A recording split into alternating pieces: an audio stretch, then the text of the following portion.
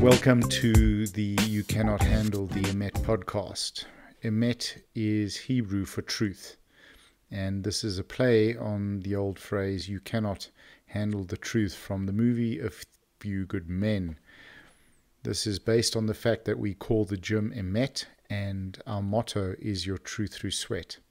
My name is Nicholas Ingel, and I'm your host for this podcast. I am an alcoholic, and I have been sober at the time of recording this for 13 years. I set up this podcast with a view to sharing the experiences and lessons that I've gained over the last 13 years of sobriety in fighting to rebuild my life. I'm a strength coach, I'm the founder of Emet Gyms, and now the founder of this podcast. And the reason that we have done this is for you. We are here to share lessons and experiences, both my own, excuse me, both my own and those of some pretty amazing individuals that I'm fortunate enough to interview. Those who have overcome some incredible obstacles and challenges in their lives. Not just world class or top performers, but real people like you and me. So today, I'm fortunate enough to be able to sit down over Zoom with an incredible human being.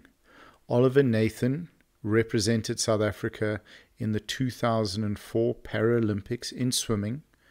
He achieved incredibly well in his division, and he his best performance was in butterfly, the hardest stroke. On top of that, Ollie has faced some really tough challenges. He's been a member of my gym for six years, and we've been fortunate enough to get to know him. In the podcast, we discuss his experience as a young man being able to represent his country and the pressures that that brought with it. And any young athlete or any parent of a young athlete should really give this a listen to because Ollie comes up with some incredibly good sound and real advice. If you're wanting to know what it's like for a young person to perform at an elite level and those true pressures, you'll enjoy the show. We also talk about Ollie's other challenges and struggles in life, what he's doing now, and how he went from working for one of South Africa's top business schools to completing his MBA in two years with one of the best and most recognized university degrees in this country and in the world. I think the MBA that Oliver did is well recognized, well regarded worldwide. We get into some fun stuff talking about uh, the books that he enjoyed and his life, and towards the end, also the challenges that uh, the youth face today, particularly the millennials we talk about entitlement. We talk about the damage that that does.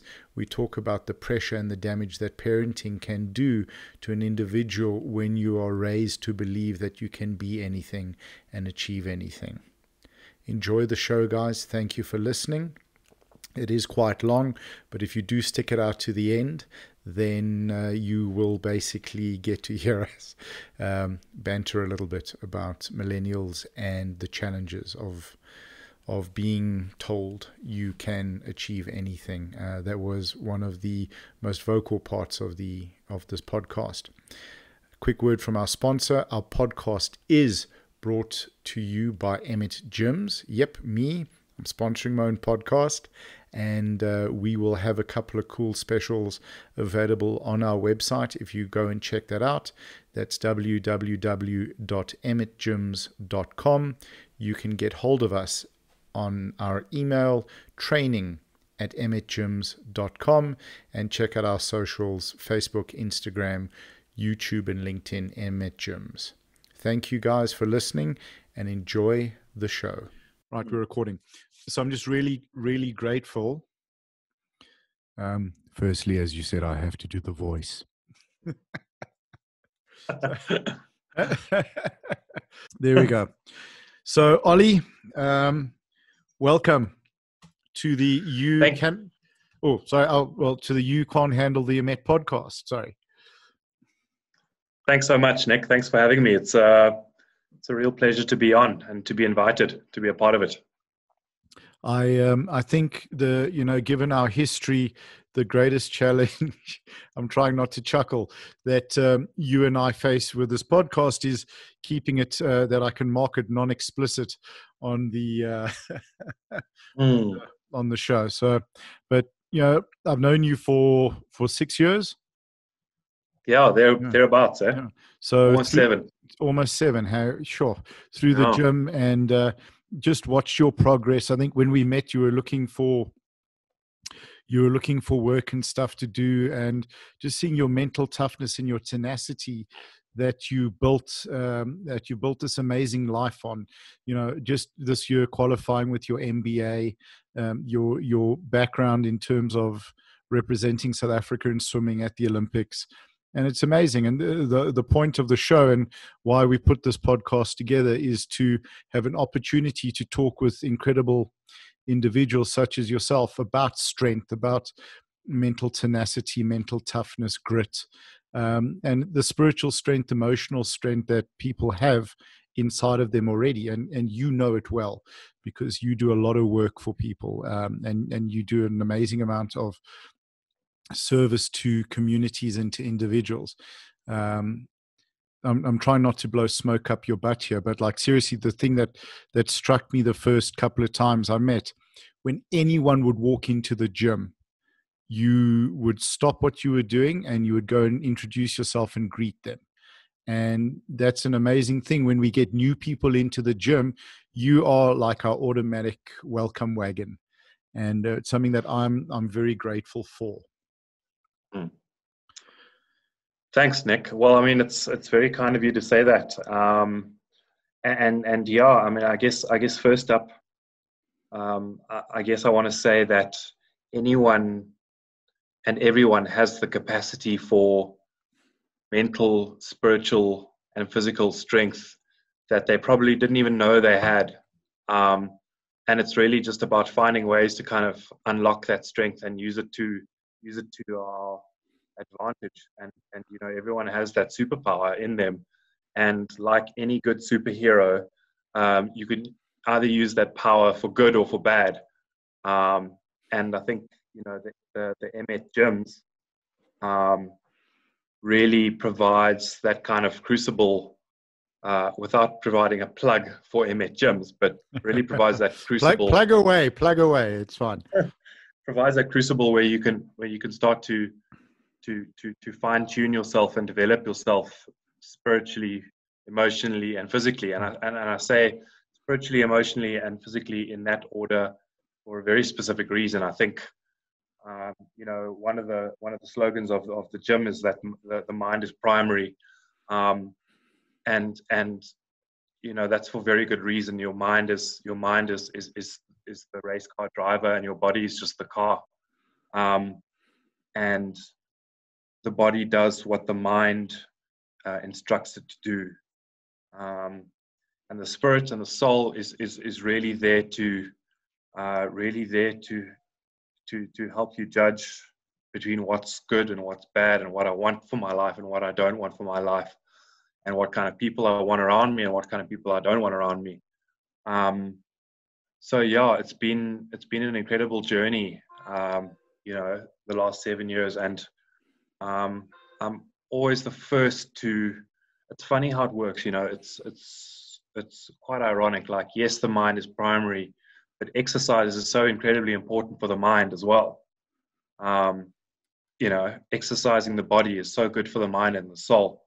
Uh, and and everyone that I meet, like I cannot I cannot, um, you know, emphasize enough how important exercise is for a human being um, you know, we are designed to use our bodies um, and do these incredible things. Um, and exercise has been really been something that has, um, I don't know, just unlocked this this this part of me that that I didn't even know existed in terms of what my body's like and and what I'm able to use it for and what I'm able to achieve with it.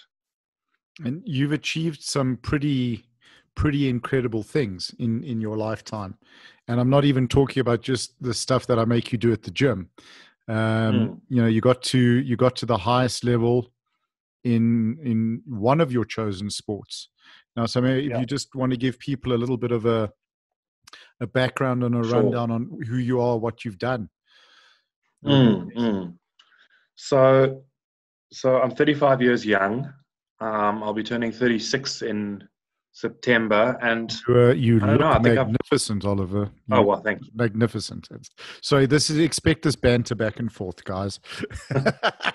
yeah. That's very kind of you, Nick. Um, so, so without without without boring listeners, um, I guess the first place to start is is to to let people know that you know I've I was lucky enough and privileged enough to represent South Africa at um, the Paralympic Games in Athens uh, in 2004. Now, I just want to preface that story by saying that um, I'm no longer a professional swimmer, uh, and I found other uh, other ways to kind of use my body um, in good ways. Um, and I'll I'll talk a little bit about mountain biking Hmm. um, um, shortly, but yeah, to get back to the story about swimming. So you know, if I go right to the beginning, I think I learned to swim at probably about age two or three, uh, and I've always been re- absolutely besotted by the water and, and absolutely besotted by swimming. Um, I think I only really started to take swimming seriously probably probably from around age uh, 11 or 12. Um, and you know, I joined a swimming club and I did a lot of uh, galas, club level swimming competitions, all the way from age 12 to about age 14 or 15. Uh, probably around there. And then, you know, I, I got drafted into the Gauteng A squad, A swimming squad. Um, and, you know, did a range of competitions. And then I got drafted into one of the national squads.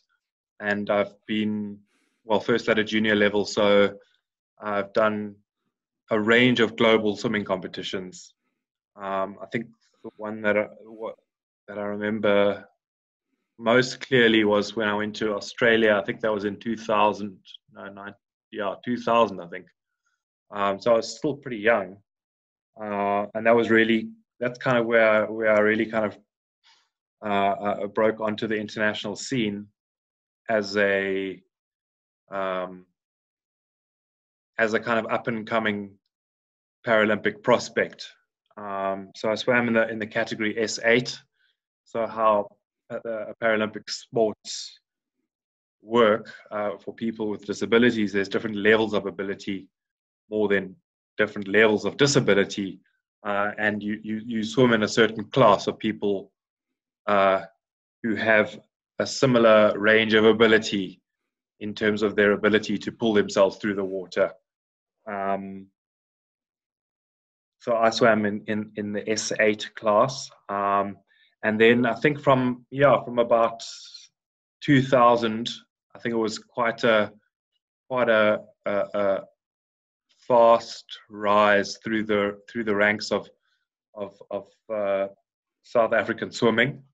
Um, and yeah, I, I, I, did a range of competitions, uh, you know, in the UK, in Sheffield, in Argentina. I did two swimming competitions in Argentina, swimming competition in Australia.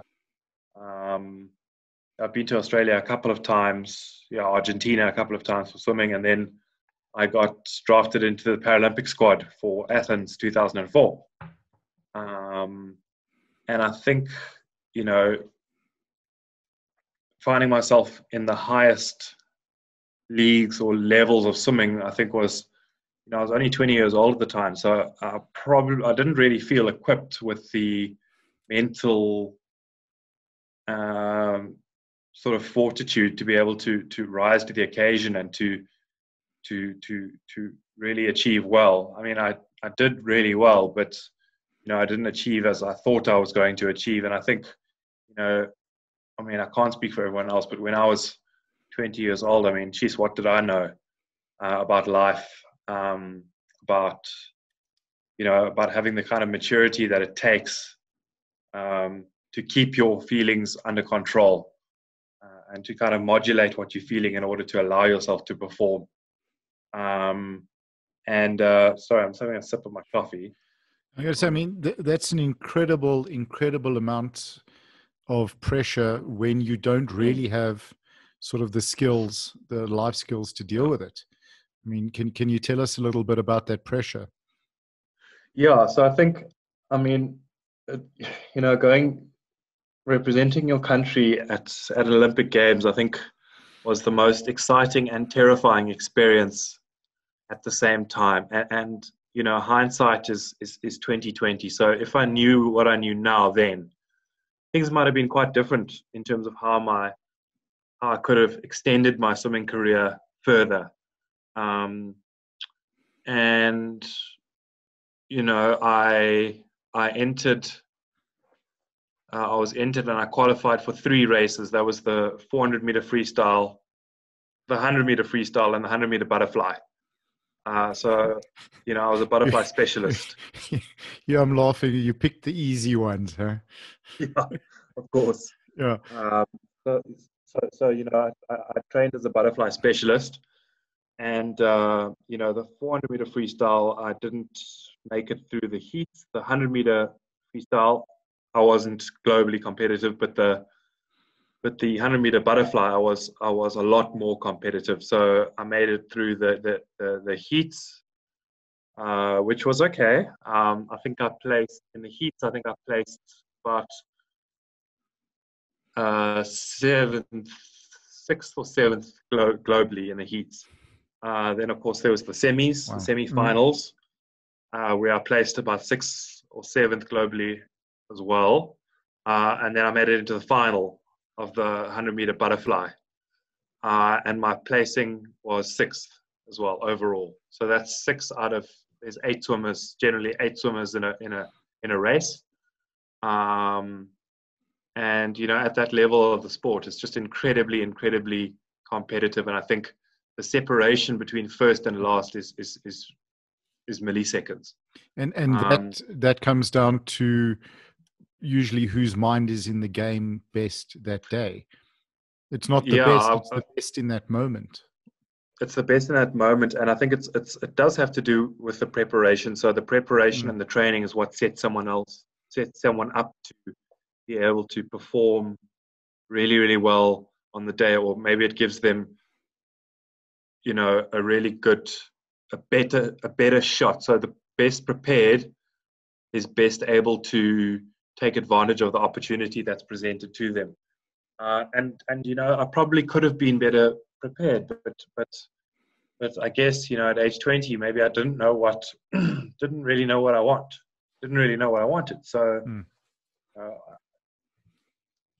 I did well, um, but I decided after the Paralympic Games that that was it. I'd had enough of swimming, and I wanted to study, and I wanted to do a whole bunch of things that that you know 20 year olds people my age were, were, were, getting up to and getting mm. into. And there was really a lot of partying pretty much. I felt like i'd kind of missed out a lot on like so i mean your tra- training was your life up until then? Pretty much. So i mean you know just to give you a sense of of you know if anyone knows anything really about aerobic training for competition it, it, it works on works on a tapering system. So um, let's say about you know about six months out from the biggest competition of, of, of one's life, there's the training is so intense before you start tapering that training off as you start heading towards uh, a competition to allow your body to to to recuperate and rejuvenate itself. Right. Um, it's so intense. So it's like a, a, a day is like I don't know, like training between 4:30 and 6 in the morning. Um, and then, of course, you know, I'd finished school. I wasn't working, mm. so I was just training um, in that in that Paralympic year. You know, so it's an hour and a half of swimming. That's they call that, you know, six or seven kilometers in the pool, um, and then then a gym session, gym and or plyometric session in the middle of the day, and then early evening, another session, a long session. uh, probably like two hours, two to two and a half hours in the pool. Um, so you know, at the end of the day, um, that's thousands of calories burnt, and um, yeah, it, it, it's it's not for everyone. It takes a special kind of someone to be able to sustain that year in year out for the useful life of their career. But I think it, at that level, and it's time in the pool. It's not just swimming laps. It's mm. working and refining technique where you've got to be so incredibly mentally present. I think that's the main. It's mentally exhausting before it yeah. becomes physically exhausting. Hundred percent. So it's the it's it's it's and it's not even it's not even a thing of boredom. I think a lot of people who maybe go and do laps at their local gym, at their pool, at their local gym. I mean, that can be quite boring if you're just doing laps and laps and laps. Uh, you're not, pool, but you're but, not, zo- um, you're not zoning out like the guys yeah. at the local pool. You know, it's not a mindless. Yeah, lap. very much so. So it's so so so the sessions are incredibly focused, and the sets of the sets of swimming exercises are very very focused. Um, and that yeah, that required real real concentration. Um, and and a sort of mental fortitude that I probably didn't have at the time. And uh, you know, I started at the beginning of, of, of this broadcast, of this podcast, really about talk, talking about mental fortitude uh, being a capacity that is innate in all of us, and our our job on planet Earth is to really find ways to unlock that. Mm-hmm. And so the swimming experience as mixed an experience as it was for me, um, was a very, very important part of unlocking mental fortitude and unlocking physical fortitude in my life in general. So, from that point of view, like it was an incredibly positive experience, and it's important to take the long term view. Um, you know, hindsight, of course, helps, but the long term view and experience with going through real hardship um, is is is really what kind of adds credits to your your your your fortitude bank, I suppose, if you mm. want to call it that. Um, experience going through really difficult times, really difficult things, and getting through the other side stronger for it. That's what grows it. I think that that's such an incredibly valuable point, and we talk about that all the time at the gym and uh, sort of with the, the motivational work or that I do at corporates and stuff where people have to understand the difficulties that they've been through, the challenges that they've been through. It's what sets you up. You know, you it, it, every time you go through harsh times, those hard times, harsh times prepare you better for the next lot of harsh times and hard times. But as you said, you mm. you build your your fortitude bank. I mean, that's a wonderful way, a wonderful way of putting it. I wanted to ask you because I think it's hugely important when in every single stroke that you took in that pool, the Olympics were on your mind.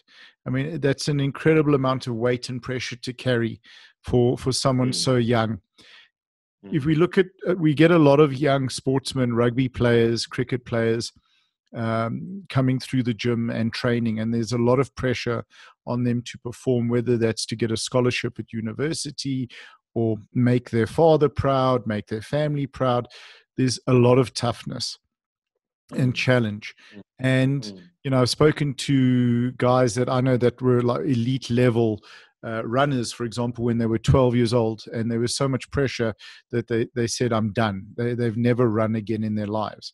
Mm. What advice, just from your experience, because listen, it doesn't get better than the Olympics.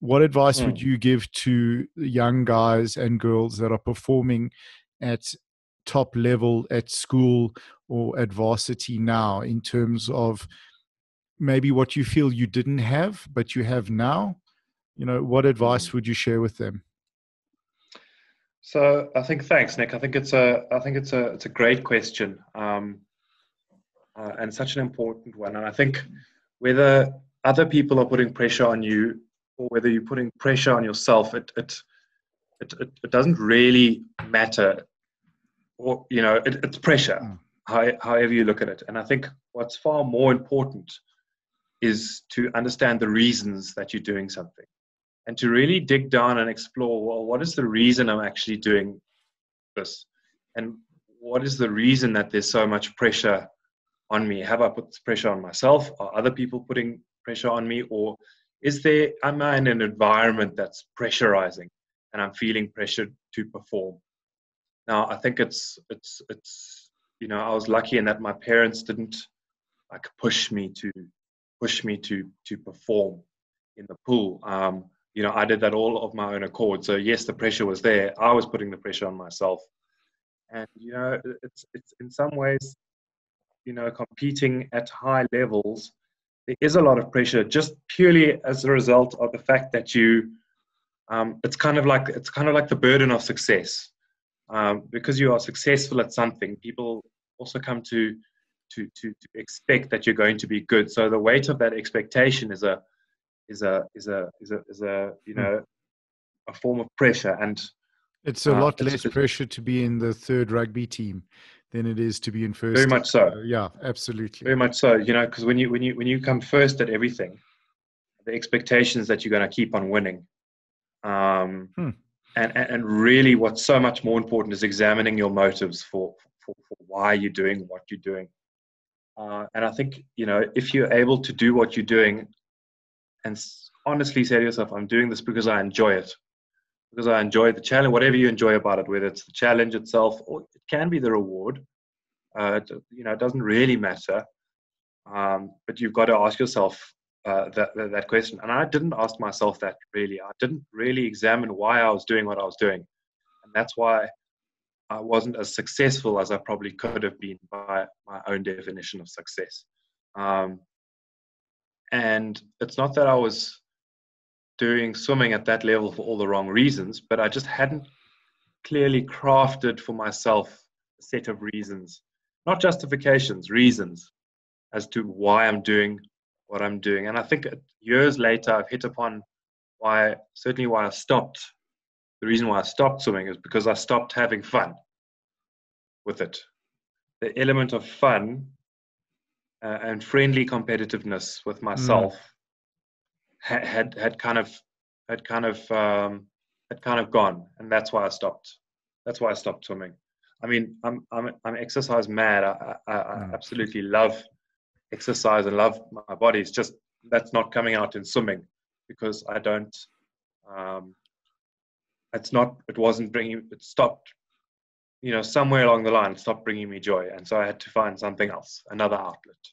Okay. To express myself. Mm. So, what would, and, and that's something I want to talk about a little bit later, but what would you, um, I don't want to use the word advice because I know you're not a big fan on advice. You, you talk to people. What would hmm. you say to a, a young athlete uh, that is at an elite level and the hmm. fun's gone. So high school and there's a lot of pressure, but like they've got rugby, there's an opportunity maybe to go to university I mean, you know, with our academy coaches, like they've gone like from high school, school scholarship, rugby, and and that's given them an opportunity for a future, but the fund's mm. gone.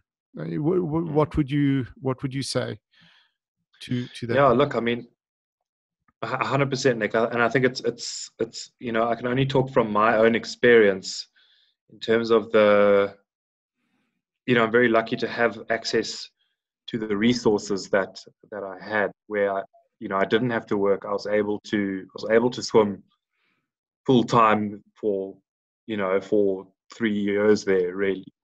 Two years really. Um, um, but again it's like like if, if you want to look at sport and competing in a very instrumental way as in as a means to an end that, that's fine as well. Uh, i think all i'm saying is that it's important to examine the reasons why you're doing things. Okay um, because it's so easy to get, just get swept up in doing things for the sake of doing them, like some sort of tick box exercise. And I think that can move a person from maybe not so much from from from from having fun to being content because I think contentment's more important, but it can move a person from being content, okay, I'm okay with this and I'm okay what with what I'm doing to unhappiness right. because you know at the end of the day sometimes in order to get ahead in life uh, you know you don't have to step on uh, step over other people but you do have to hustle Uh, and you know, if if rugby is your ticket to uh, university scholarship, then you know if that opportunity is presented to yourself and you've examined exactly why you're doing this and why you've why you've chosen this route, um, then by all means give it everything mm. and, and get your hustle on. Okay. If you've got someone that's the fun's gone, but they're mm. competing, what's I mean, mm. what's the timeline that you would say? It's like, listen, are you just, you know, is it just what you're going through currently at the moment? How long have you been mm-hmm. feeling this? How long do you stick it out? I, I think that's really mm. what I'm asking. So, so, so I, I don't know if you. I think it's different for every person. I'm not sure if you can apply a timeline to it, um, but I think you know at the end of the day, you have to, like, I have to live with myself and my mm. decisions. So, I don't know. Something inside me just said I knew. I knew that that that this was it for me, and I and I don't know how I knew it. it was just something that I felt. Um, and, and, and you know, proof of that was trying to do swimming competitions post post the Paralympic Games in 2004, where right, um, you know, I just I just wasn't feeling I just wasn't feeling it. I wasn't feeling, you know, at first I thought it was just because I was tired from the Paralympic Games, but I just wasn't feeling it. It just wasn't for me, and I just didn't want to do it anymore. So uh, I knew something deep down inside of me told me, and I think for any person, you'll you'll know eventually. You might have to just keep on pushing yourself a while for yourself to, to for, for you to figure that out, but you will know eventually. Right, and you know it's interesting you say that because I see with you in the gym quite often. Some days, most days, we will go balls to the wall and push really, really hard and give it everything that you've got. And then some days you'll just be like, come in, do a couple of movements, and just really socialize and chat and hang out and relax. yeah. Excuse me. And that to me, I think is is really that, as you said, you know. So yeah. if you just talk like, there's tremendous value in that. I mean, what what value have you found putting in the effort to get to know yourself? So so it's been it's been massive, Nick. I mean. Uh, I think you know I'm one of those people because I'm quite an A type person. So I'm uh, qu- you know, qu- quite ten- sorry. What quite quite quite quite no. no the, I think the word is the A type person. Yeah. So so you know with often with A type people and, and you know I don't want to generalize, but for but for me, uh, you know the the pressure that we put on ourselves to perform in whatever it is is just ridiculous. Yeah. Um. So so so the great thing about you know getting into my 30s is maybe I haven't mellowed, but I've found opportunities to cut loose a little bit and just be myself. And I don't, quite honestly, I don't want to be training like an absolute maniac every time I come to the gym. There's a very, very important social aspect, and I get my social nourishment from my friends at gym. Yeah. Uh, and and you know, I like to talk a lot. Uh, I don't know if you've noticed, Nick. Um, but but uh, that's a very very uh, only only when they're girls in the gym, Ollie. of course. Yeah. um, but but you know it's it's, it's, it's for me. You know, and, and I think it's similar to your thinking. It's it's not so much now about bodily strength. It's it's really about it's really about wellness as this mm. kind of holistic view on my body, who I am as a person, uh, emotionally, spiritually, um, financially, career wise, starting to look at all of those different parts of my life as, as, as, as they're just individual parts of this great, this great whole that is my life. Mm-hmm. Um, and, you know, coming to the gym, loosening up, having a chat with the guys is, is, is as important for me. It's become as important as doing a session where you, do focus and you work really, really hard and you're absolutely stuffed after the session. Uh, and then you saw for like two days afterwards. And I'm, you know, I'm pretty fit and, and, and damn mm-hmm. strong. And some of the sessions that are very hectic, I'm still sore. Um, so, so, so it's, it's, there's a time and a place for both. And I think, you know, just because I, I might be taking it a bit easier one day, it doesn't mean that I'm not committed to uh, uh, to my own growth. Uh, and you know, I take my my socializing and my chatting as seriously as I take my training.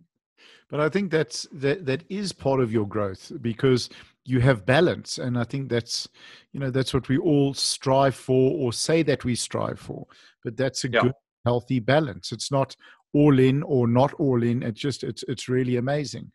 I mean, and again, I don't want to blow smoke up your butt, but you do bring incredible value to the gym, and I've seen that with a lot of our other members. Like they, they value they value having you uh, training with us.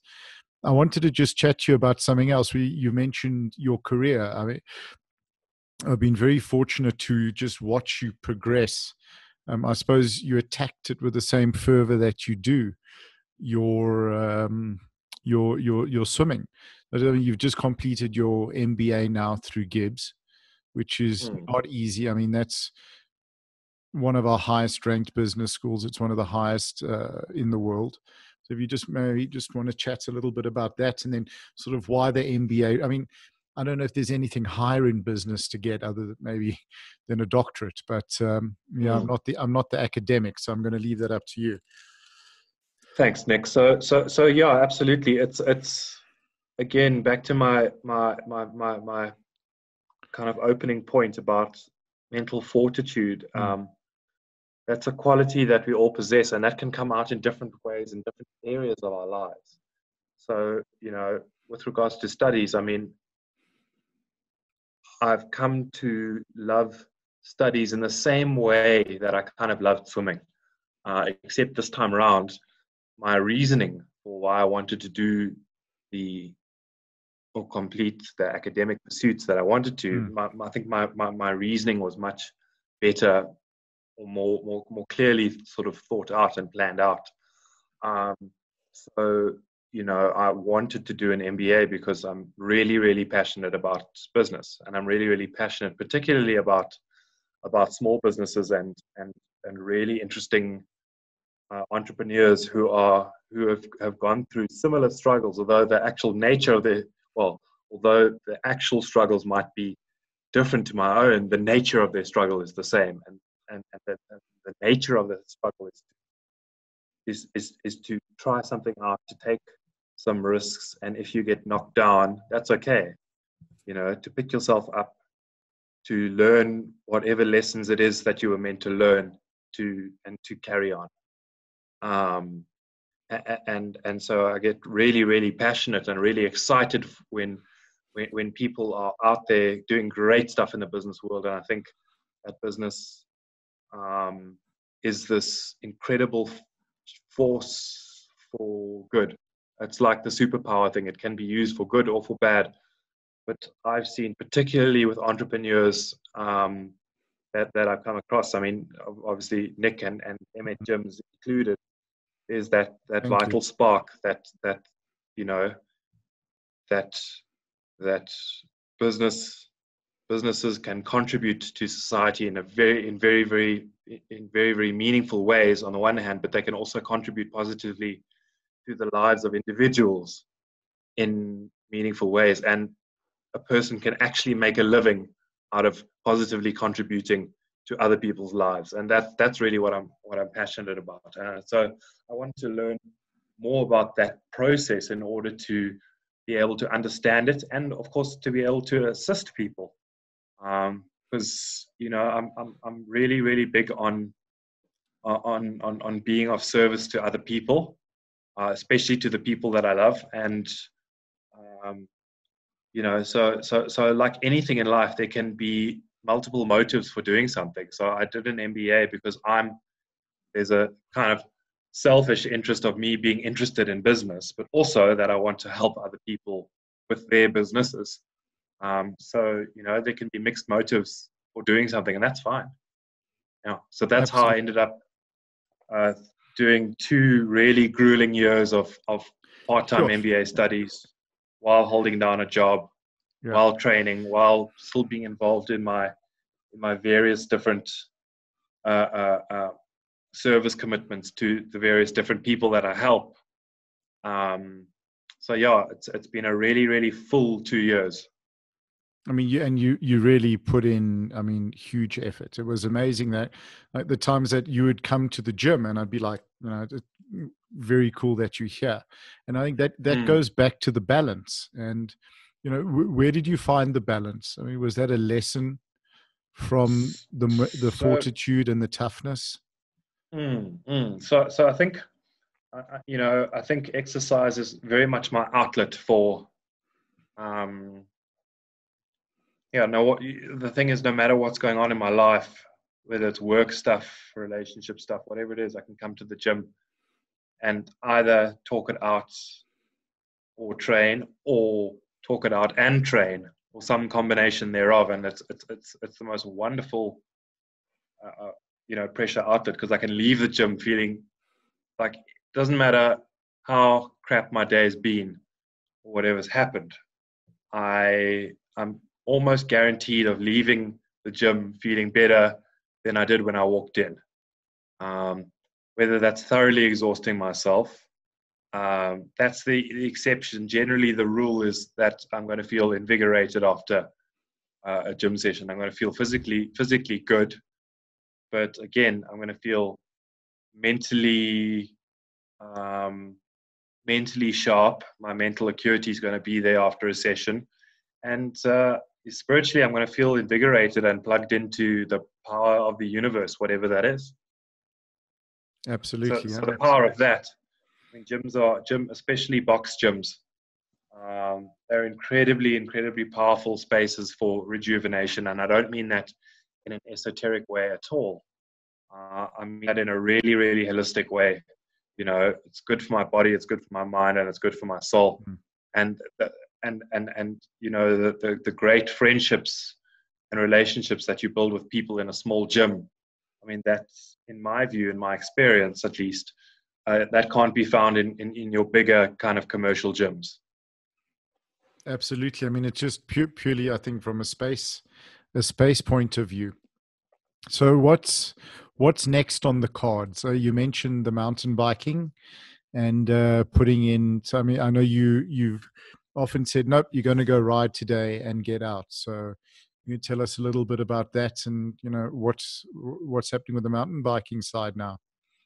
Yeah, absolutely, Nick. So, so I think, um, you know, I started getting into mountain biking probably about, hmm, I would say probably three, three, four years ago. But uh, that's kind of just riding around the, you know, the Emmarentia uh, Delta Park system which if you're not from Johannesburg, uh, that's kind of a huge kind of green uh, area, uh, open area of essentially parks and, and veld, and it's it's quite a distance. Um, and I kind of got into that with my brother. My younger brother's uh, Elaine has, has been into uh, mountain biking for a number of years, um, and I think it's just really in the last I would say in the last year that I've really started to take things really seriously.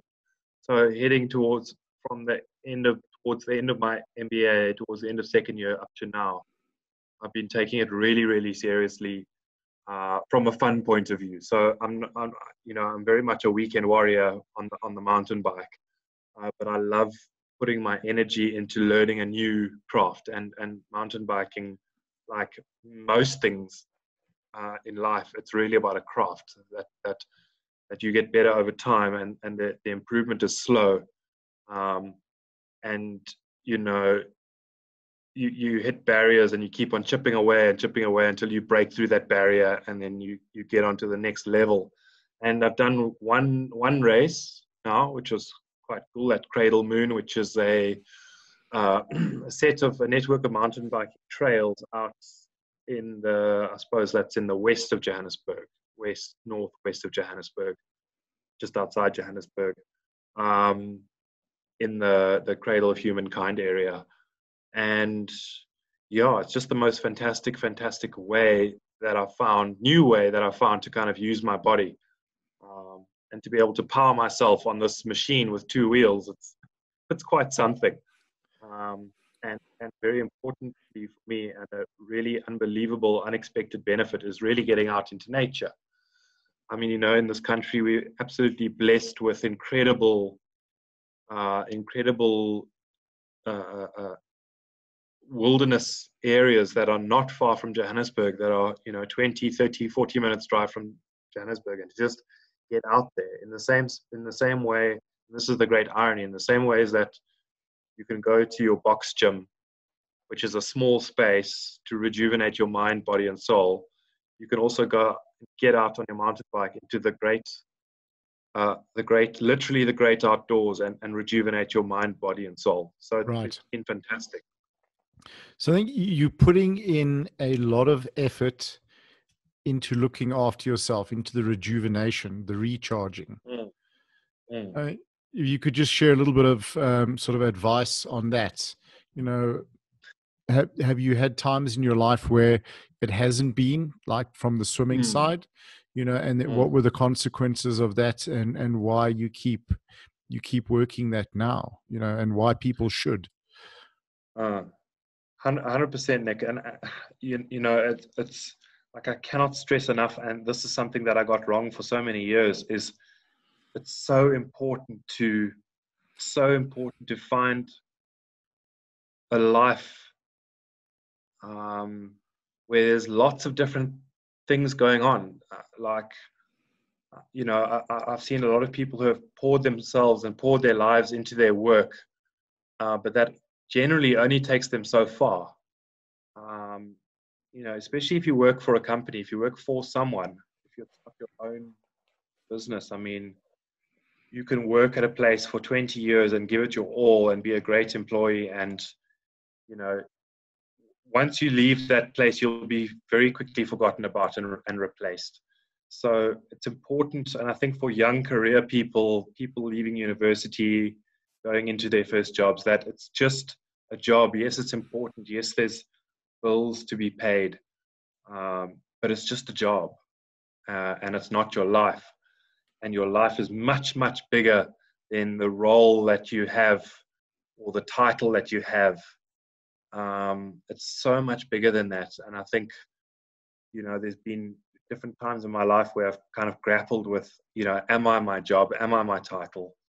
Uh, and now I don't grapple with that anymore. I'm not those things. I'm so much more. In fact, I can't describe myself in just one sentence because there isn't one sentence mm. that hmm. describes me. I do so many things. Um, and, and, and, and it's really, that's really what the rich tapestry of life is. It's about, it's not so much about what I've done and what I've achieved, but it's, but it's much more about who I am as a person and, and how I've managed to meaningfully contribute to other people's lives. You don't define yourself in one way as one thing. 100%. And I don't think you have to. And I think I think there's a societal expectation uh, that we need to. I mean, I think it's slowly changing, but this idea that you know by I don't know by 20 by 25 you've got a great career that's that's on the up that you've that you've got a that you've got a house that you bought a house that you yeah. that you married or engaged that or that you have kids that, you know and it's just life's just not like that at all.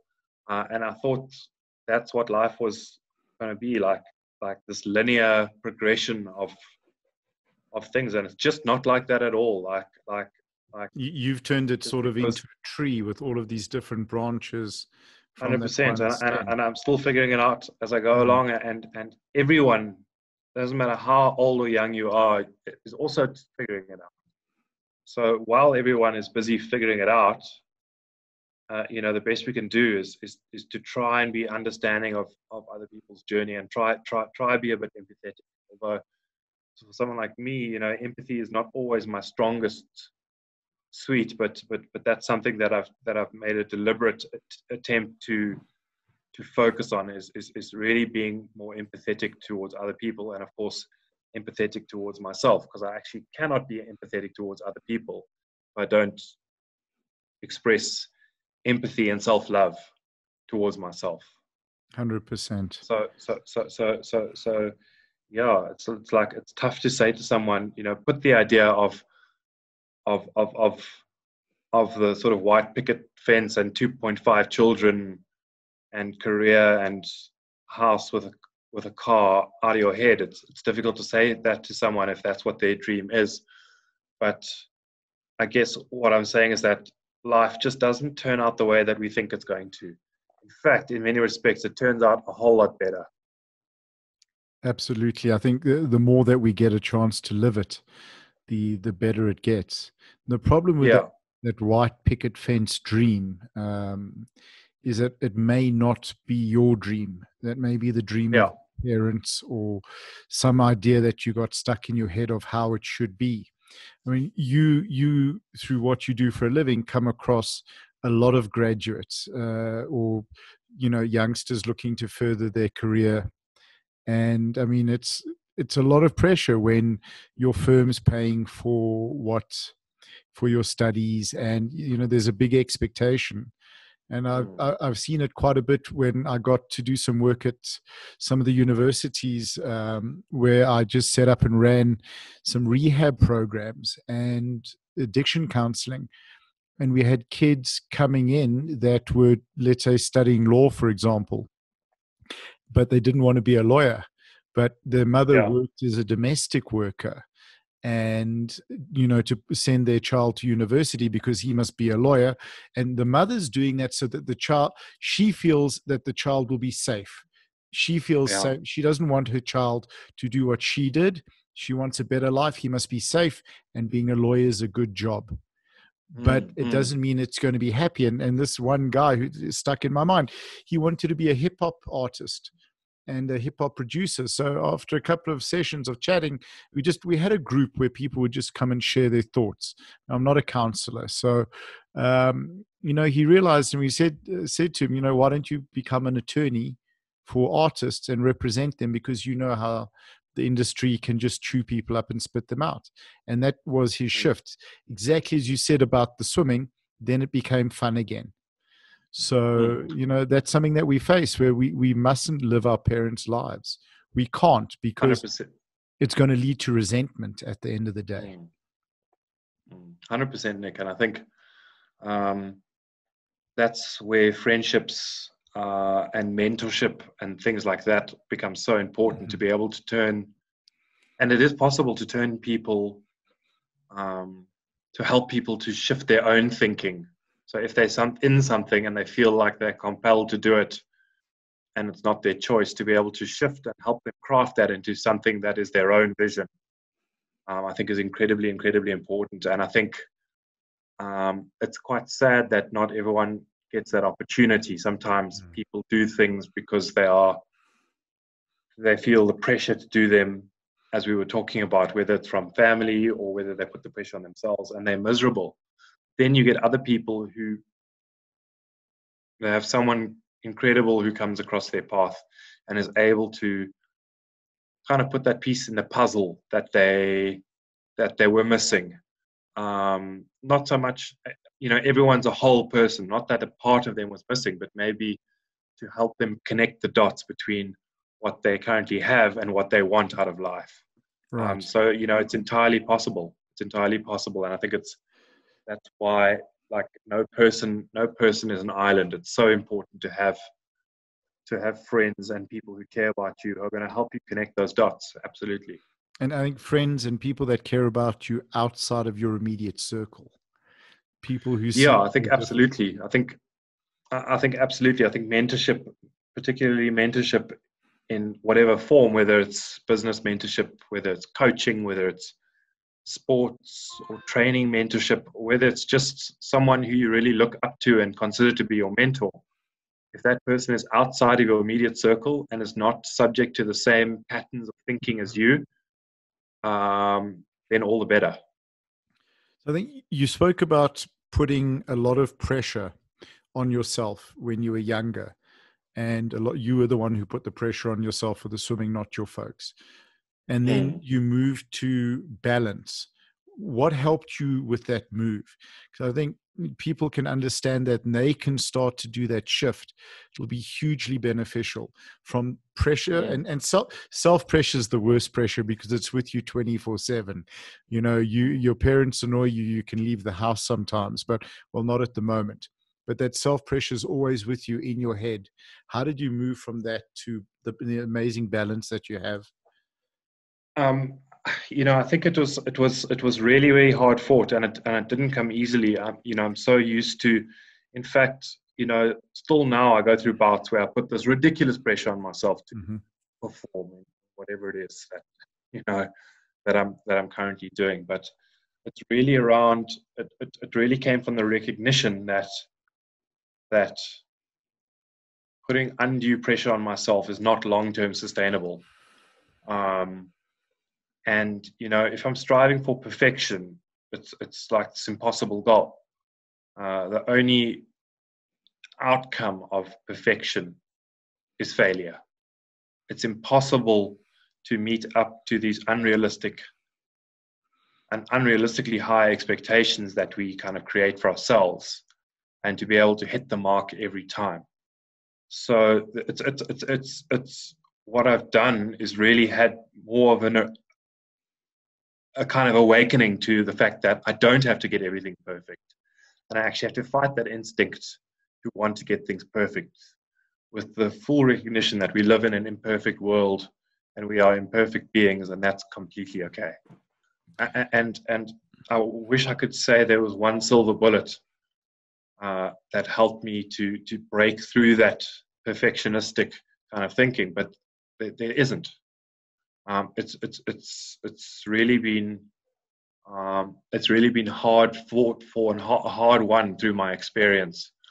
Uh, so you know, Winston Churchill said that if you're going through hell, just keep going. Um, and it's not always about doing the triple jump. It's sometimes it's it's it's it's it's it's about putting one foot in front of the other. Even if you have to crawl, just so long as you you you, you know you don't stop moving in whatever way it is. Right. and the answers will come.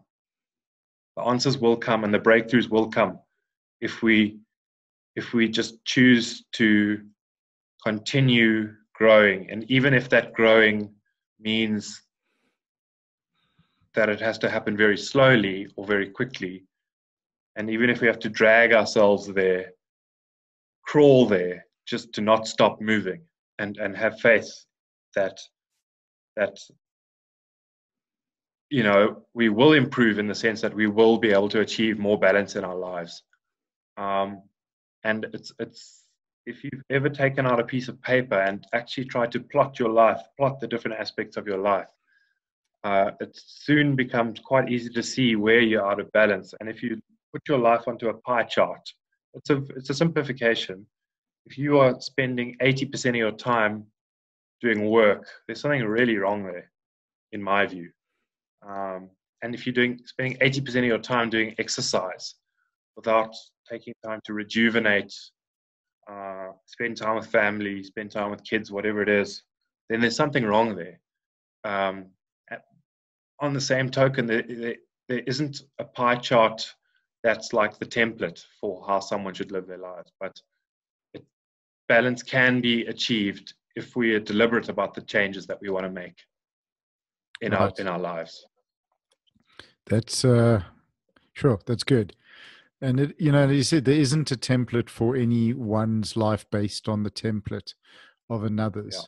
Yeah. I think uh, you spoke of a silver bullet. I mean, and and it's not being one thing, and perhaps I mean that silver bullet is the slow development of self love. When we start to love ourselves and start to value ourselves, that's when we start to move from being unreasonably tough on ourselves to uh, more balance and care and mm. and self love mm. and self worth because uh, self love i mean is the hardest thing ever. I mean, it took me, I've been sober for coming up on 14 years. It took me 11 years to hmm. discover true self love. 11 years of being sober. I mean, that's just, that's just crazy. Sure. Uh, you know, I think, uh, you know, self love and self esteem is, is something that I would say the vast majority of people actually have to grapple with. Uh, and you know we are presented with a choice and and and i think the thing is to know that there is there are various different forms of assist- assistance we can get in order to cultivate uh, that self love and to develop our self esteem. It's, it's, you know, I wasn't aware that there was help out there in the form of various different therapeutic interventions um, that are around. But, you know, when I started to engage with that stuff in a meaningful way, um, a few years ago, you know, just in my self love and self worth has improved tremendously, tremendously. And there's no shame in there's no shame in, in seeking out therapeutic, psychological, psychiatric, whatever it is, help at all. Um, and I think in some ways it's very encouraging that I think the stigma around you know mental illness uh, on the one hand and self-esteem and self-love self-worth issues the stigma is starting to slowly change as um, as these issues start to enter the popular conscious conscience a bit a bit a bit more. Um, but you know it goes back to what we were saying about about people being islands. Nobody's an island uh, and it's okay to ask for help um, and Absolutely. i find myself asking for help all the time um, and, and that has really shown me that it's not um, it's not an admission of, of, of weakness asking other people for help but actually it, it, it's, it's, an expression courage. of courage absolutely yeah. i mean to have the courage to say hey i'm not okay help yeah. that is uh, that's the hardest point in the whole process is just having that courage to to ask. 100% 100% nick. Um and so yeah you know you, you know I, I must be honest with you my like i say without reservation that my life is really really really good. Um and my life is is is really really good today not as the result it's not it's, it's not my life is good be, not as the result of a happy accident of the universe. My life is good because i put in the work yeah. to make it that way. Um, and life hasn't always been good and there will be moments where i feel like my life is not all that great. Um, to know that the, the yeah to know that the, the good times will pass as much as the bad times will pass if we're prepared to put in the work. And, and, and really what life is about is kind of you know going back and forth and oscillating between things going well and maybe things not going so well and facing new challenges and using my experience to try help me get through that particular challenge. But not having all the experience that i need I still have to kind of muddle through and figure things out on my own, which adds more to my experience bank and helps Absolutely. me face next set of, of challenges as they come. Um, and it's it's it's you know there's the most fantastic author who's no longer with us. He's a psychologist by the name of M. Scott Peck, and his most famous book that he's written is called the the Road Less Traveled. And I think very interestingly, one of the chapters in the book uh, one of the chapters in his book, The Road Less Traveled, uh, really talks about having a dedication, being dedicated to reality. And people who are dedicated to reality are able to see things as they are, I'm, to see I'm their life. Googling it now, right? Yep. Yeah, and to see their life as it is, not as they wished it to be. Um, and being dedicated to the reality of my own life uh, means that I get to face things head on and I don't have to run away because the things that I think are scary and difficult are scary and difficult 9.9 out of 10 times in my own head. So I think the key to a not so good life or an unhappy life is to be in full flight from reality. Right. Uh, and you know, I spent a portion of my life being in full flight from reality, uh, and never facing anything. Um, never facing myself, never facing other people, saying what I had, what I've had to say, and doing what I had to do. Um, but really, what that dedication to reality means is that I get to say what I have to say, and I get to do what what I need to do. Uh, and by facing my own darkness and facing challenges head on, I get through them and I get through them the other side better for it. That's when you fight for your life, you put the work in, you put the effort in, it's empowering because if you're not working to, if you're not working for the life you want, you live the life you get. And when you live the life you get, you feel helpless, disempowered, um, you know, uh, and that's that dis, that, that helplessness, that disempowerment can you know that's what causes people to take their own lives or slip into depression as you said when 100%. it doesn't matter how bad it is just cr- if you can't walk crawl you know yeah. just keep moving forward keep working for your life because it's your life it's the only life that you have and if you don't yet yeah. have the skills work to develop you know w- just working towards them is, is going to develop the skills and give you that skill set. Hundred percent, Nick. It's it's so important what you say, and there's, there's another idea from from psychology which is really around locus of control. So mm. my locus of control, where I have control, can either, and it's really about perception of control, right? So it's my mm-hmm. locus of control can either reside within me, or I give my power away by thinking that everything else has power over me, and I'm just this victim of circumstance the truth of the matter is is that we're partially a victim of circumstance, but we actually have so much more power than we think we do. Uh, and you know, I have power over my thoughts, I have power over my actions, I have power over my behavior, I have power over my beliefs. Um, it's your attitude. And that's what, yeah, attitude. This thing called attitude, which I'm trying to still figure out what that is.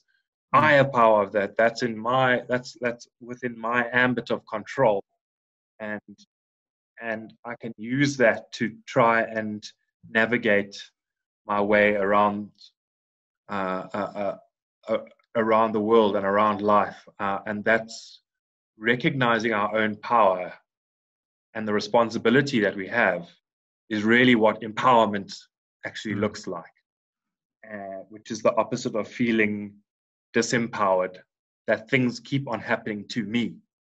Uh, and if i'm feeling like things are keep, the way it should be. 100% and i think you know if i feel like things keep on happening to me and why does this keep happening to me? Well that's got much more to do with my attitude mm. than it does with you know it's my perception. Things aren't happening to me. I'm happening to things.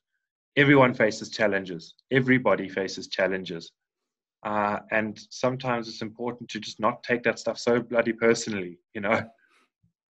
It's so true. It's if we look at what's happening in the world at the moment. So if people are listening to it, we're smack bang in the middle of the coronavirus COVID nineteen pandemic.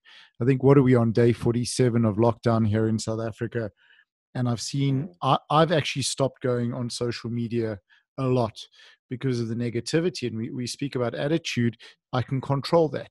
So i can control what i bring into my reality to that extent. And a lot of people are saying well our freedoms have been taken away and we have so much less freedom than we used to have. And I, mm. I, commented on a post this evening to say that you know those freedoms are i didn't want to I, I had to restrain myself a bit in terms of delivering too much of what my truth is. To say that, you know, the freedom's an illusion. Um, you you go back uh, into Nazi Germany, the Jewish community before Hitler came to power believed they had a degree of freedom. Uh, people, the the the Rwanda, the, before the the war and the genocide, people had freedom is also at the hands of our freedom is at the hands of others. So we now have people that are in charge and they have an army and they have a police force. And you can also choose to go, okay, listen, I agree with this or not, but I'm going to listen. The freedom is in our choice and our attitude. We can't go out, fine, make the most of it. Um, you, yeah. you know, find find a way to do it. But freedom, when people start talking about those, you know, these are our freedoms that is a sense of entitlement. And entitlement Mm-hmm. is believing the way the world should be, that you are entitled to be able to do these things. It's not, Mm. because also when you become that level of that entitled, you lose the, well, I feel one loses the appreciation of the small things, of the everyday things. Hundred percent, Nick. I mean, I cannot wait to get back on a beach because it's going to be Yeah, the look, most I mean- incredible time. Can you imagine your next swim in the ocean? It's going to be your best ever.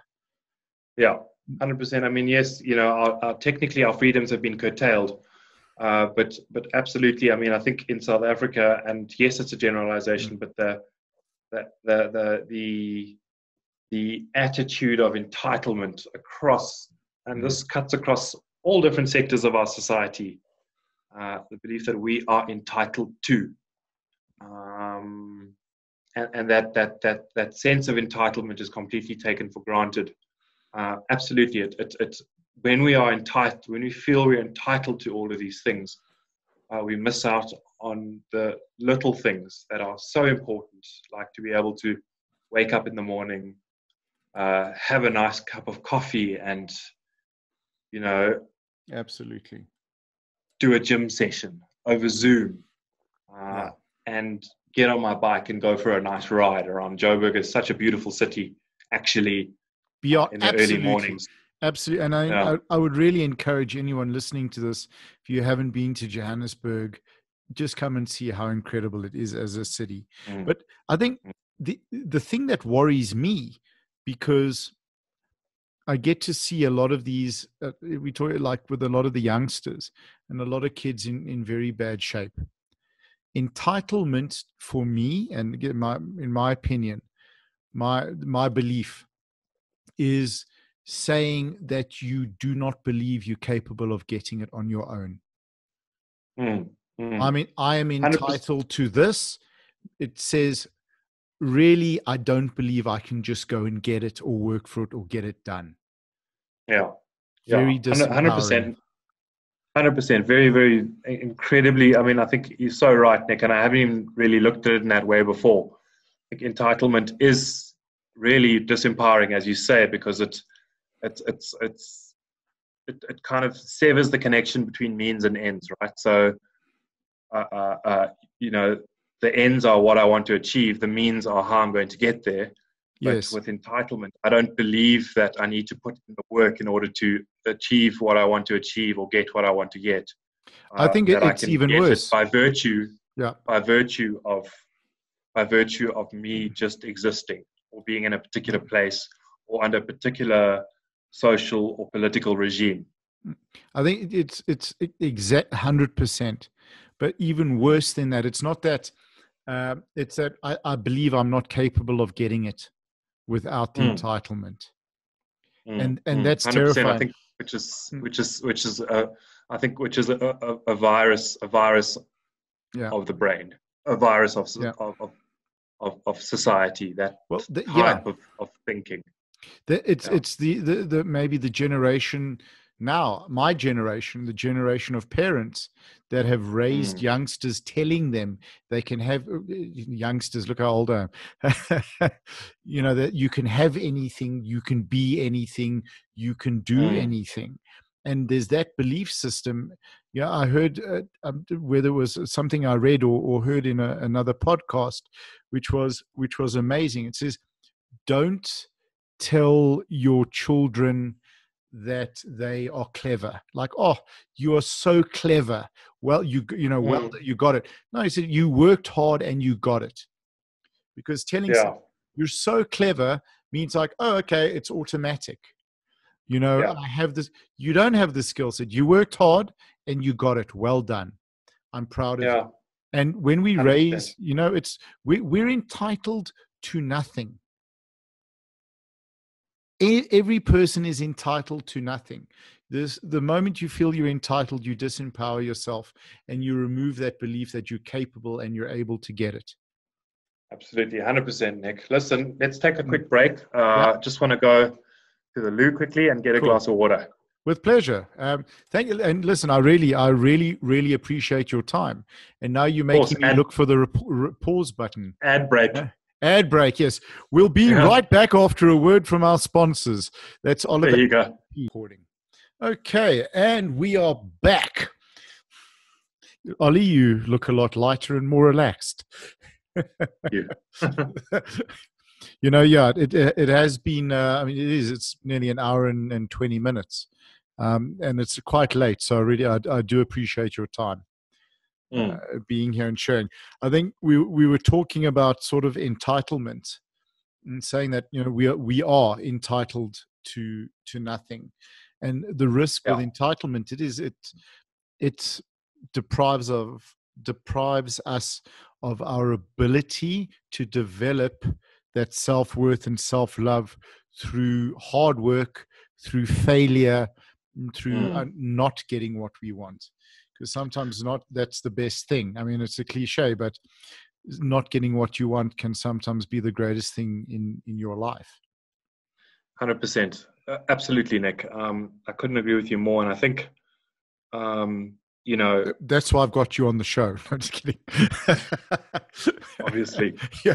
Um, but but you, you know, you know, I think I think if you grow up uh, and you are told constantly told that you deserve this, that, and the next thing by virtue of some quality that you have, Mm. um, you know, you're going to go out there into the big bad world, and you're going to be sorely disappointed that uh, people aren't just going to give you stuff for free out there in the big bad world. Um, you know, but under also- yeah. political political regime change or social change, where the things that you might have been entitled to by virtue of that, um, those benefits that Mm. accrue to you as by virtue, whether it's of your skin color or of your social class or whatever it is, that stuff's not that stuff doesn't last. You know, it, it's um, as soon as the as soon as the context changes changes, you're going to be left. Um, uh, uh, you know, feeling bitter and resentful because you're no longer getting what you believe that you are entitled to, and that's why putting putting you know putting your shoulder to the to the wheel uh, and working for what you want to achieve is so important, and going through setbacks and hearing the words no are so important, and being denied of what you believe that you are owed is so important to break you down uh, in a good way for you to learn that you need to work um, your butt hard. off yeah.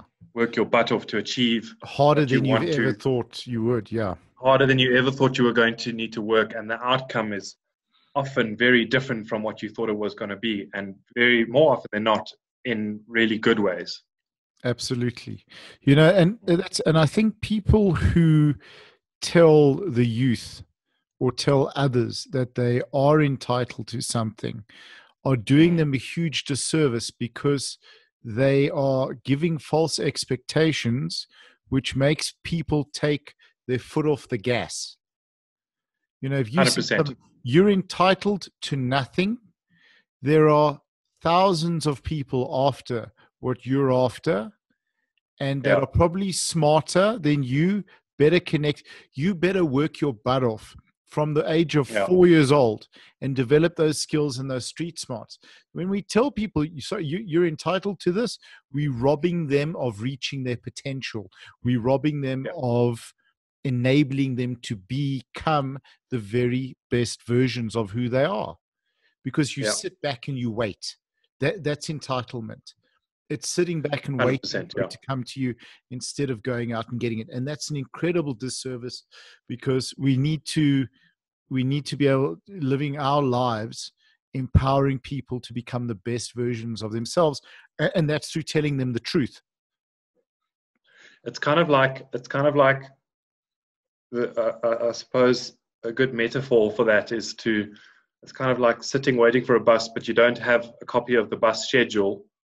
um, and or a ticket sitting and waiting and waiting and waiting and waiting Yeah. and waiting for the bus, um, not going and asking everyone anyone around if there's a bus that stops here at such such a time, yeah not maybe looking for another bus stop. yeah Um, only to only to realize that that the bus company stopped running that route about ten years ago. Yeah, absolutely. That's And what I- entitlement's like. That's it. And then and you missed the job interview because of it. Yeah, and you missed the job interview. You know, that's it. It's and I see this all the time when uh, working at at some of the rehab centers that I do. You get these youngsters coming in from supposedly, well, now entitled, uh, you know, families and wealthy, connected families, Privileged pri- backgrounds. yeah. privileged backgrounds, and these kids are destroyed because they've been told that they never had to work for anything. They've been told that they're entitled to a certain way of life and that bad behavior gets covered up, bad behavior gets, and then eventually it collapses. But they're like zoo animals because they've been kept in mm-hmm. captivity and or every need has been met. And the moment they go into the wild, they get eaten and they, they don't know how to cope and how to deal. And it's heartbreaking. You know, like with, Mm, with the, mm. that kid who had to start washing cars, irrespective of who his family was or the wealth. But if you want pocket money, go and work for it, kid, or come to the factory, come to the business. Um, Yeah. you know, having to work really, really hard for stuff, and and you also you appreciate it, you value it. Very much so. You know, you you you, you appreciate things much much more when you have to work um, for them. And and you know, there was a there was a great quote from uh, from Bill Gates. I think I'm going to see if I can find it here quickly. Uh, let me just see. Bill Gates. I'm just googling it quickly. Um, quote on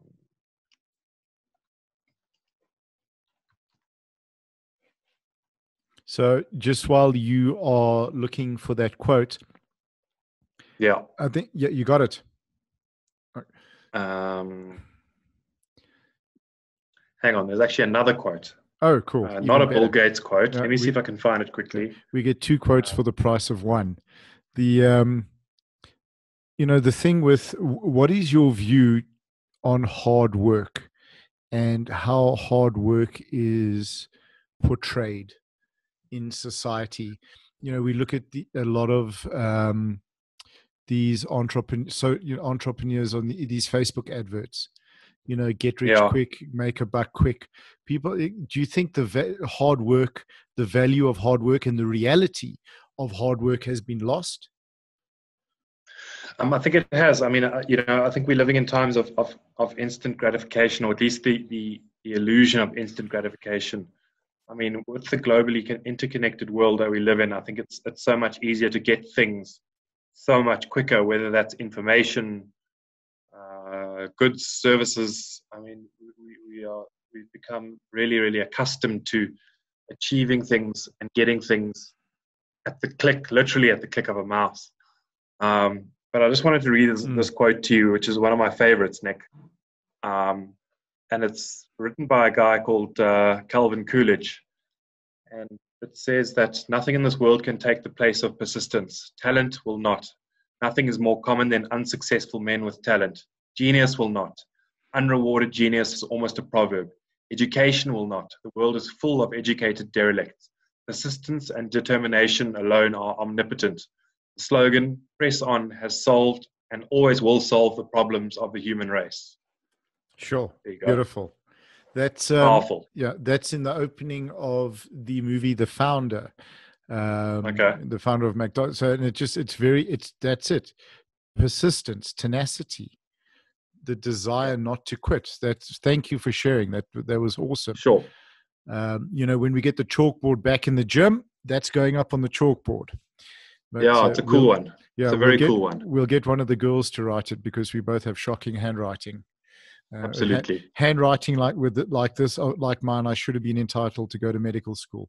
Um, I'm telling you, Mine too. that's an amazing, also a- wonderful, wonderful quote. Ollie, just I think in in closing, I mean it's quite late, and I don't want to take more of your time. Two things that I wanted to say. Uh, well, say and then then a question. Firstly, um, I know that we have spoken about it before. You know, you you have a lot of wisdom and experience to share, and you have a very calming way of doing that. So I think you really, if it's something that you want to do, uh, just look again, starting, you know, Mm. speaking, corporate speaking events. There are a lot of people that can benefit from what you've been through, both in the sporting arena, because you have performed and achieved at the highest possible level in academia that's you know you that's as, as good as it gets your your mba really without Mm. becoming you know full-time academic. So you should really you know look at that. When you write your book i'm, I'm going to request that you come on here to launch it and uh, Thanks, you know i'm going to have to fight oprah and leno i don't know if, even if they still work i don't i'm old um, You have know, to fight fight Jerry Springer, Nick. Jerry Springer, there, Jerry. uh, yes, Jerry. Gerry, From, you mean Jerry? Gerry from Springs? yes, Jerry from Springs on that. But I, I, what I just wanted to sort of ask, I mean, your your thoughts that you would like to to leave tho- those who have had the courage to listen to the entire show. Firstly, we say thank you, but uh, for those that have uh, listened, I mean, your thoughts just on mental toughness and you know strength in mental strength, physical and emotional strength. Yeah, um, I think there, there, there's there's there's two things I want to do. I want to I really want to find that that that Bill Gates uh, quote quickly, but uh, let me quickly find the quote and then I'll wrap up uh, what I want to say, Nick. So right, perfect.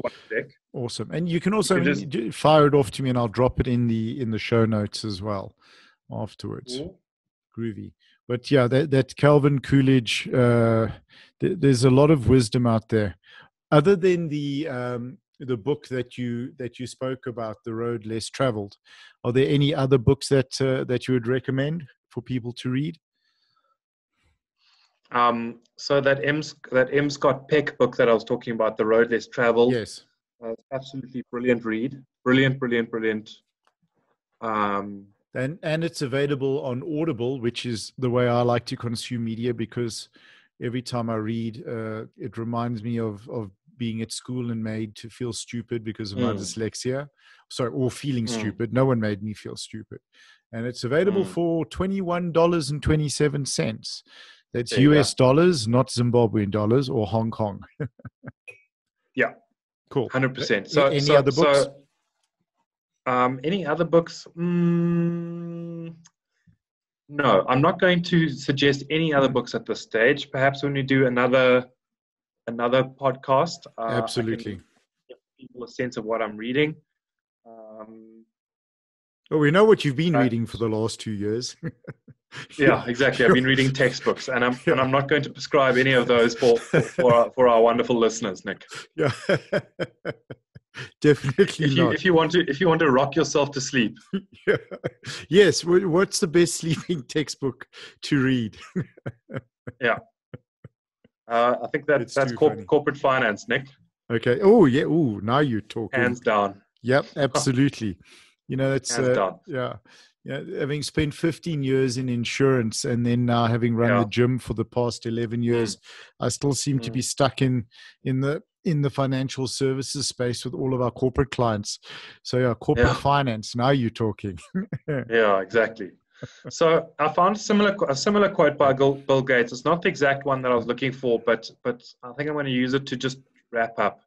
And he says that success is a lousy teacher. It seduces smart people into thinking they can't lose. Um, and I think that's incredibly powerful. And, and, and I think the message that I want to bring home, uh, just to wrap us up, is that failure is is is is more than okay. In fact, it's an incredibly important, uh, vitally important tool to show ourselves that A, we are human, and B, that we need to learn. Uh, and there are incredibly important lessons in failure. Uh, and, you know, tying it back to a business example, there are stacks of entrepreneurs, and I think it's uh, Steve Jobs included, Mm. uh, who's not interested.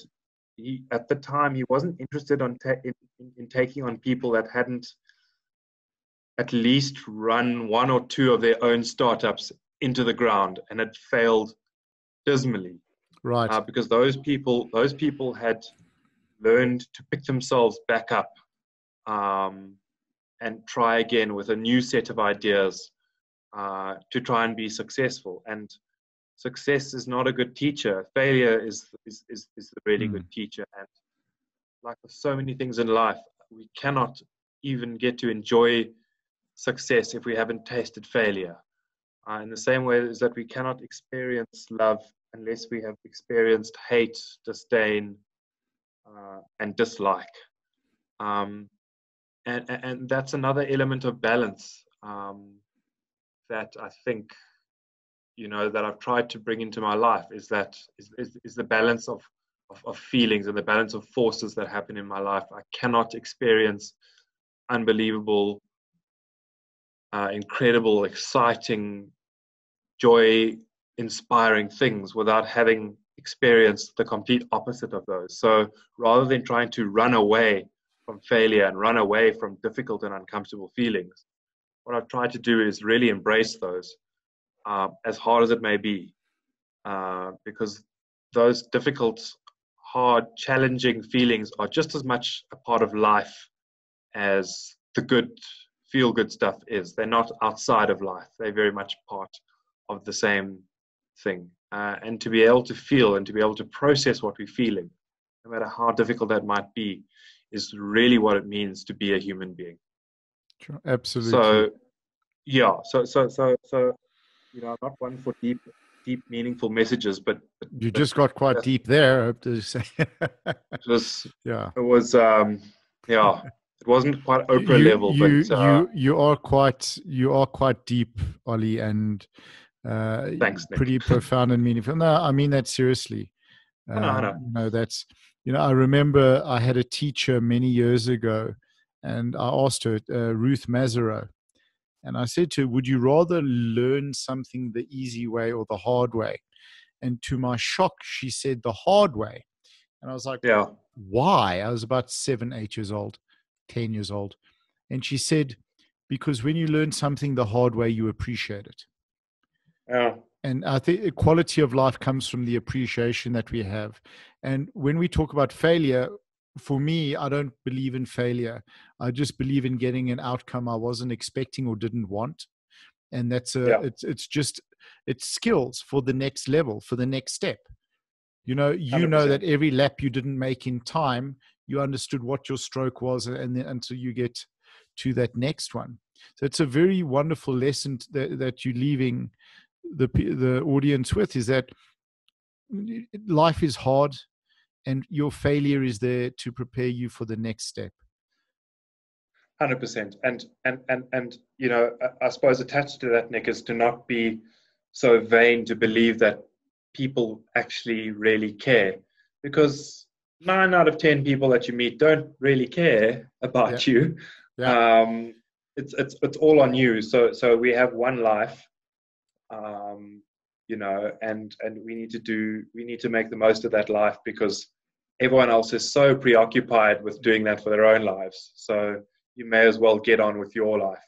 I mean, uh, that's for a the- whole other the right show. reasons. Yeah, Yeah, absolutely. that's a whole other show. Nick. you know where where people Whole are other show. not yeah people we people are so worried what others think but what they don't realize is everyone else is so worried what others think that they're thinking about Yeah. what you're thinking about them not about you so yeah Hundred percent.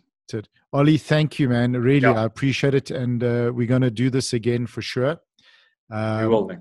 and it'll also be fun to get one or two um, guests and do a do a dual interview because I'd love to get your perspective on that side as well. So I just want to say thank you very much, Ollie, for your time.